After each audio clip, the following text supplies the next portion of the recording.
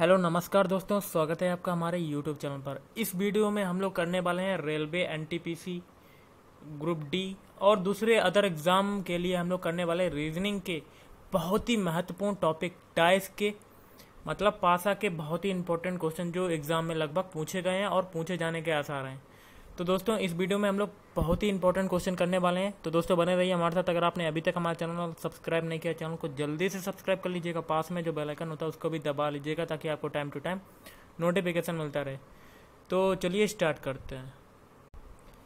तो गाइस जैसा कि हमें अब नीचे क्वेश्चन में दिया हुआ है कि नीचे पासे के एक प्रारूप को दर्शाया गया है। इस पासे में अंक दो के विपरीत फलक पर कौन सा अंक होगा?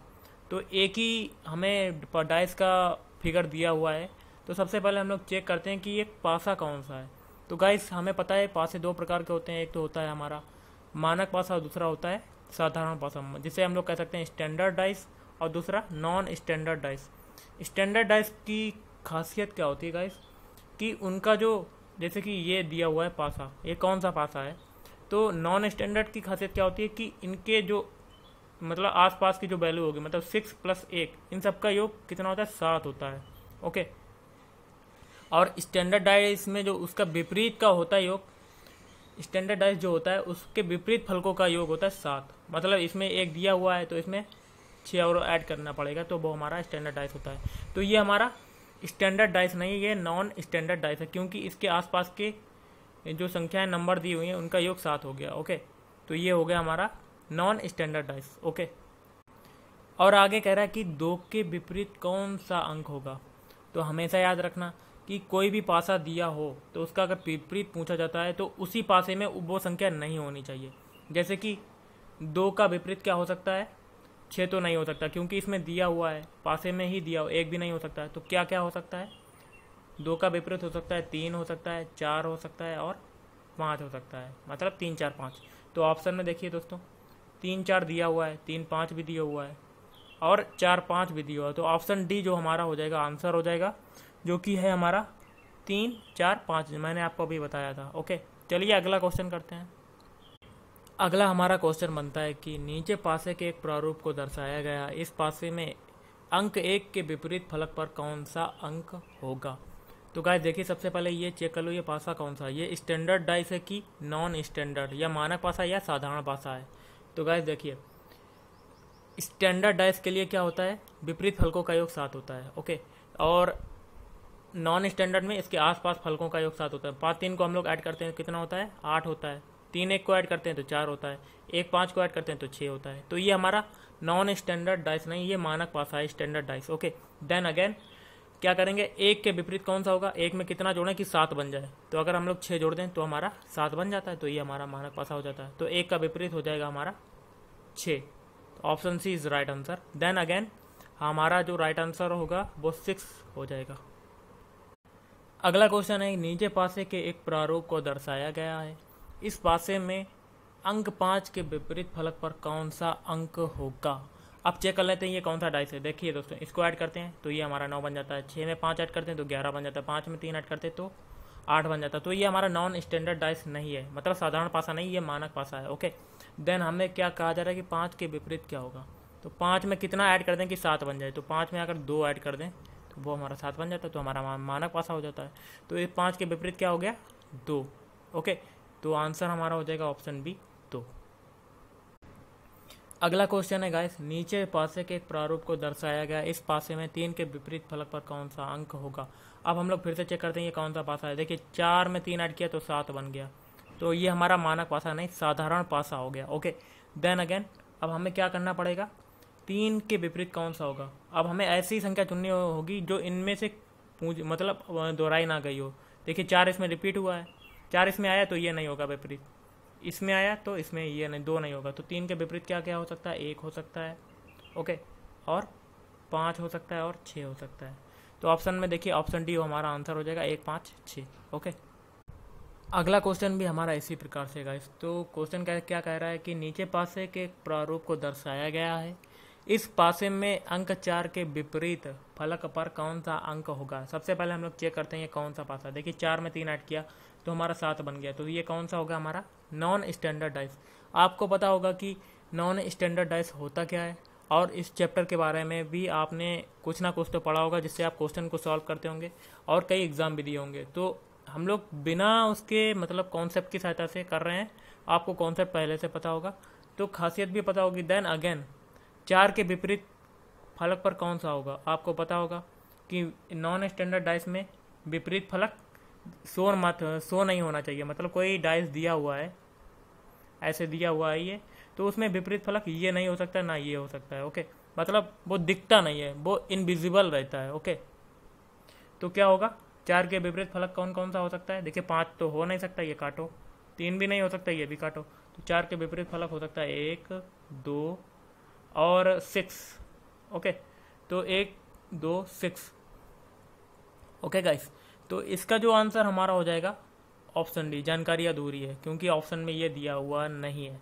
तो option D is right answer अब देखिए, ये बहुत ही लाजवाब क्वेश्चन है। जैसे दिया हुआ है, वह संख्या कौन सी है जो एक के सामने वाले फलक पर है? एक के सामने वाले फलक पर। मतलब एक का विपरीत ही पूछा जा रहा है।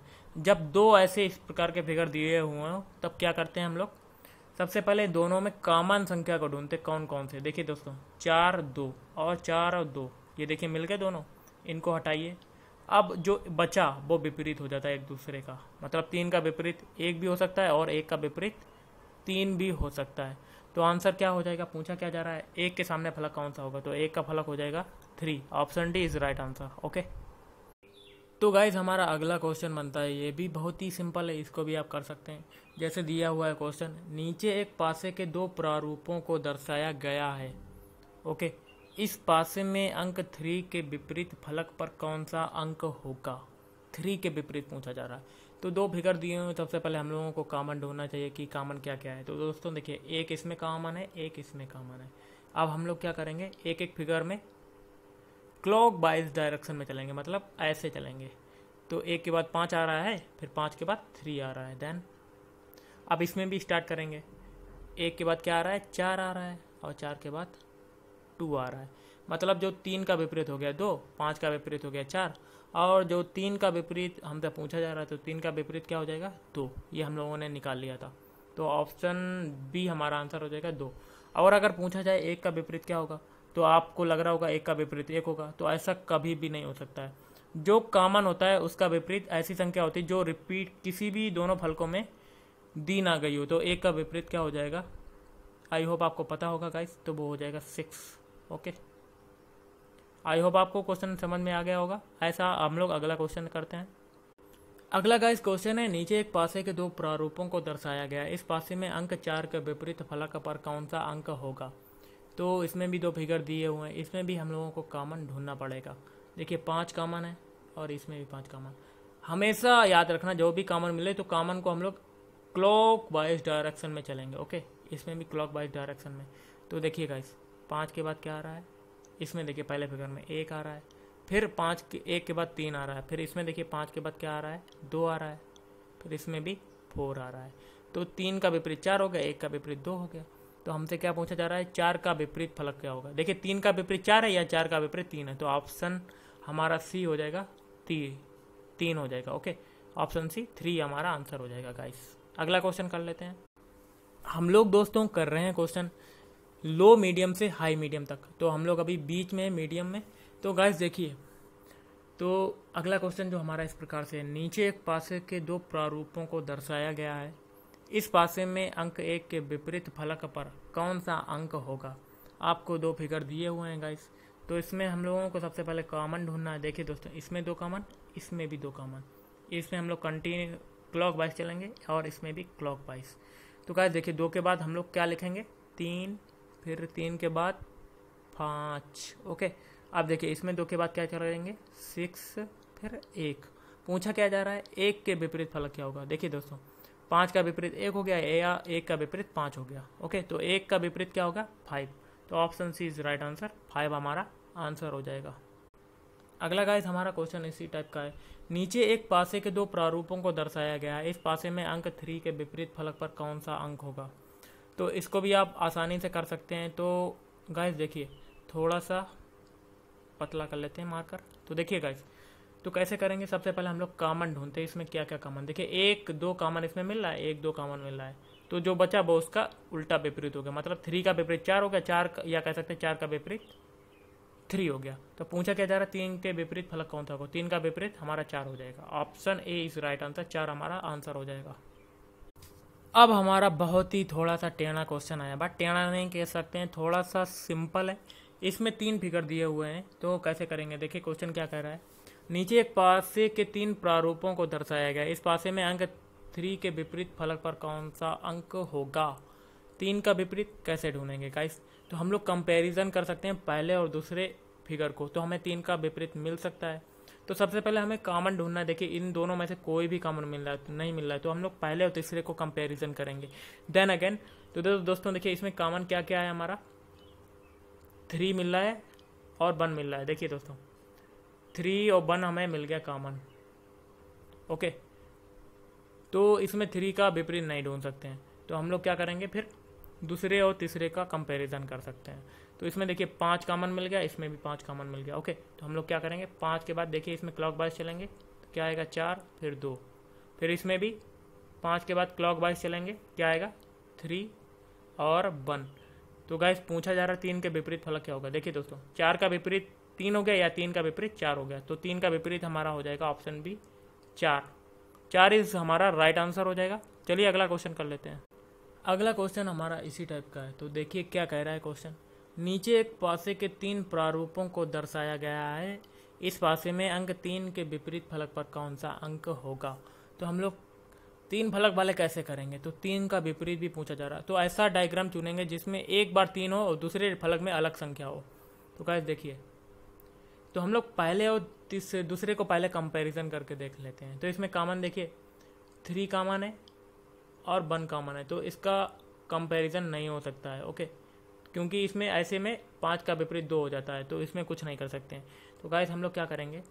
दूसरे और तीसरे का कंपैरिजन कर सकते हैं या पहले या तीसरे का कंपैरिजन कर सकते हैं। तो हम लोग क्या कर सकते हैं? दूसरे और तीसरे का कंपैरिजन करते हैं। तो इसमें देखिए, सबसे पहले कामन ढूंढते हैं। तो कामन क्या क्या है? थ्री कॉमन है, इसमें भी इसमें भी थ्री कॉमन तो थ्री के बाद क्या आ रहा है? यहाँ क्लॉक वाइज चलेंगे, पाँच, फिर पाँच के बाद एक। अब इसमें भी क्लॉक वाइज चलेंगे। थ्री के बाद आ रहा है हमारा टू फोर ओके देन ये तो हमें पता चल के विपरीत है। तो तीन के बाद, तीन का विपरीत क्या होगा? तीन का तीन तो हो नहीं सकता। तो ऐसी संख्या चुनेंगे जो रिपीट किसी दोनों फिगर में आई नहीं है, हुई है। तो गाइस देखिए, इसमें कौन सी ऐसी संख्या जो रिपीट नहीं हुई दोनों फिगरों में? एक तो तीन हो चुकी है, दो भी हो चुकी है। ऐसी संख्या छः है तो तीन का विपरीत हो जाएगा छः तो वो छः रिपीट नहीं हुआ इन दोनों में। कहीं आपको छः दिख रहा है, नहीं दिख रहा है तो तीन का विपरीत हो जाएगा छः option D is right answer अगला क्वेश्चन हमारा इसी टाइप का। तो दोस्तों, देखिए, कैसा है? तीन फिगर दिए हुए हैं। तो कह रहा है, नीचे एक पासे के तीन प्रारूपों को दर्शाया गया है। इस पासे में दो अंक, दो के विपरीत फलक पर कौन सा अंक होगा? तो गाय देखिए, दो इसमें आ रहा है। तो हमें ये वाला एक लेना पड़ेगा और एक हम लोग कोई भी ले सकते हैं, पहला या दूसरा भी ले सकते हैं। जो हम, जिनमें हमें कोई भी संख्या कॉमन मिल जाए, वही ले लेते हैं। तो पहले और तीसरे का कंपेरिजन कर देते हैं। तो इसमें देखिए, एक कॉमन मिल गया, इसमें भी एक कॉमन मिल गया। तो एक के बाद क्या आएगा? क्लॉक वाइज चलेंगे। तो एक के बाद छः फिर चार। ओके अब देखिए दोस्तों, इसमें भी एक कॉमन है। तो एक के बाद चार, फिर दो लिखेंगे। एक के बाद चार, फिर दो। ओके तो हमारा क्वेश्चन चल रहा है इसी टाइप का। तो देखिए दोस्तों, दो के विपरीत फलक पूछा जा रहा है, कौन सा अंक होगा? तो दो का विपरीत हो जाएगा चार, क्योंकि चार का विपरीत है दो तो दो का विपरीत हो जाएगा हो जाएगा चार। तो इसमें ऑप्शन में दिया नहीं हो तो ऑप्शन यहाँ पे चार कर सकते हैं आप। तो ऑप्शन ए हमारा राइट आंसर हो जाएगा ओके तो गाइज़ हमें अगला क्वेश्चन देखने को मिल रहा है, जैसा कि कह रहा है ओपन डाइज का हमारा क्वेश्चन है, जो कि है, यदि नीचे दी गई आकृति का छायांकित भाग एक घन का आकार, घन का आधार हो और फलक एक आपके सम्मुख है तो उसके सामने कौन सा फलक होगा? तो इस टाइप का जब भी क्वेश्चन गाइस आता है तो वो हमारा बहुत ही सिंपल हो जाता है। जैसा कि इस टाइप का जब भी कभी फिगर आए तो आप क्या करें? एक का इसमें पूछा गया, एक के आपके सम्मुख है ओके तो इसके सामने कौन सा फलक होगा? मतलब इसके विपरीत कौन सा फलक होगा? तो इसके, इस केस में हम लोग क्या करेंगे? एक के बाद क्या आ रहा है? ये खाली स्थान, इसको हम लोग बेस मानेंगे। उसके बाद जो संख्या आएगी, वो हमारा विपरीत हो जाएगा। देन एक का विपरीत क्या हो जाएगा? चार। तो option C is right answer okay अगर पूछा जाए दो का विपरीत क्या होगा तो हम लोग दो के बाद खाली स्थान है, इसको हम लोग बेस मानेंगे तो ये हमारा दो का विपरीत तीन। और अगर पूछा जाए कि खालिस्तान का विपरीत क्या होगा तो वो हो जाएगा पाँच। और जो चार बचा तो चार का विपरीत क्या हो जाएगा? खालिस्तान ओके इस टाइप का जब भी क्वेश्चन आता है ओके हमेशा ध्यान रखना। अगला हमारा ऐसा क्वेश्चन आ रहा है, जैसे दिया हुआ है, नीचे दी गई व्यवस्था से एक घन बनाया जाए तो पाँच बिंदु वाले फलक के सामने कितने बिंदु वाला फलक होगा? तो गाइस देखिए, पाँच इसमें किसमें है बिंदु? इसमें वाले में है। तो अगर अब पहले का पूछा जाए तो पहले का ये तीसरा हो जाएगा, क्योंकि एक छोड़ के बनाया जाता है तो दूसरे का पूछा जाए तो दूसरे का ये हो जाएगा हमारा तीसरा। और ये जो बचा, ये हमारा हो चुका है। हमारा पाँच का पूछा जा रहा है तो क्या होगा? ये जो बचा और ये जो बचा, इसके सामने का विपरीत ये हो जाएगा। तो पाँच बिंदु के सामने कौन सा फलक है, जिसमें कितने फलक हैं, बिंदु हैं तो तीन हो जाएगा। ऑप्शन हमारा हो जाएगा सी, तीन। अगला क्वेश्चन है, यदि नीचे दी गई व्यवस्था से एक घन बनाया जाए तो तीन बिंदु वाले फलक के सामने कितने बिंदु वाला फलक होगा? तीन बिंदु इसमें देखिए गाइस कौन सा है? ये वाला। तो हम लोग क्या करते हैं, एक छोड़ के उसका विपरीत मान लेते हैं। तो इसका विपरीत हो जाएगा छः इसको हम लोगों ने बेस माना था। तो एक तीन फलक वाले का विपरीत क्या हो जाएगा? छः फलक। तो option D is right answer then option D हमारा हो जाएगा आंसर ओके ये क्वेश्चन जो है बहुत ही इंपॉर्टेंट है क्योंकि क्वेश्चन में पूछ रहा है कि इसको मोड़कर कौन सा डाइस बनाया जा सकता है? तो हम लोगों को कैसे करना पड़ेगा? सबसे पहले हम लोग विपरीत देखते हैं कि विपरीत कौन से होंगे। ओके तो देखिए ऐप का विपरीत हो जाएगा बी लिख देते हैं ऐप का विपरीत बी और ई e का विपरीत क्या हो जाएगा? सी ई e का विपरीत हो जाएगा सी और जो बचा ए का विपरीत हो जाएगा डी तो ए का विपरीत हम लोगों हम लोगों ने लिख दिया डी अब जो विपरीत फलक है, वो किसी भी फिगर में साथ नहीं आने चाहिए। तो क्या देखिए, पहला फिगर चेक करते हैं। एफ़ का विपरीत बी तो देखिए, साथ में आ गए तो ये कैंसिल हो गया। अब देखिए बी वाला हम लोग ऑप्शन देखते हैं। कोई भी विपरीत फलक इसमें साथ में नहीं आना चाहिए दोस्तों ओके ए का विपरीत डी है नहीं आया ए का विपरीत सी है नहीं आया एफ़ का विपरीत बी है तो नहीं आया तो ऑप्शन बी हमारा आंसर हो जाएगा। अगला हम लोग फिगर चेक कर लेते हैं। तो क्या देखिए बी का विपरीत क्या कहते ई का विपरीत सी है देखिए साथ में आ गए तो ये कैंसिल देन अगेन चौथा फिगर ए का विपरीत डी है ये भी साथ में आ गया, ये भी हमारा कैंसिल तो इसमें साथ नहीं आ रहा विपरीत, कोई फलक विपरीत वाला। तो option B is right answer okay हमेशा जब भी एक ऐसा क्वेश्चन है तब हमेशा ऐसा ही करना तो अब बी वाला हमारा आंसर हो जाएगा। अगला क्वेश्चन है, इसी प्रकार का। उसमें भी हमें बताना कि इसको मोड़कर कौन सा डाइस बनाया जा सकता है, चार फिगर में से। तो सबसे पहले हम लोग विपरीत लिख लेते हैं। दो का विपरीत क्या हो जाएगा? चार। ओके, एक का विपरीत हो जाएगा छः ओके, जो बचा हुआ तीन का विपरीत हो जाएगा फाइव अब हम लोग एक एक फिगर चेक करते हैं। कि जो विपरीत फलक हैं, वो साथ में नहीं होने चाहिए। दो का विपरीत चार है, इसमें देखिए दो का विपरीत चार नहीं है। एक का विपरीत छः है तो एक ये साथ में आ गया ये कैंसिल देन अगेन दूसरा फिगर चेक कर लेते हैं। तीन का विपरीत पाँच है, दिया हुआ है, इसमें आ गया साथ में, ये भी कैंसिल और तीसरा फिगर चेक करते हैं। दो का विपरीत चार है, इसमें भी साथ में आ गया ये भी कैंसिल और चौथा फिगर देखते हैं। एक का विपरीत छः है तो नहीं आया। दो, तीन का विपरीत पाँच है, नहीं आया। दो का विपरीत चार है, नहीं आया। तो ऑप्शन डी बहुत ही सिंपल क्वेश्चन था। ऑप्शन डी हमारा आंसर हो जाएगा। इस टाइप का जब भी क्वेश्चन है तो आप ऐसे करेंगे तो आपका आंसर सटीक आएगा ओके तो गैस इस वीडियो में इतना ही। अगर आपको वीडियो पसंद आया तो वीडियो को लाइक करें शेयर करें चैनल को सब्सक्राइब करें। और अगर आपको इसका अगला पार्ट चाहिए तो कमेंट करके आप बता सकते हैं। तो मैं जल्दी आपको इसका अगला पार्ट प्रोवाइड कराऊँगा। आज से मैंने आपको डेली के डेली टॉपिक वाइज रीजनिंग के क्वेश्चन कराऊँगा, जो कि railway NTPC railway group D किसी भी एग्ज़ाम में पूछे जा सकते हैं। तो अगर आपको अगला पार्ट चाहिए तो यस या नो में आप कमेंट कर सकते हैं ओके तो थैंक यू धन्यवाद, आपका दिन शुभ रहे।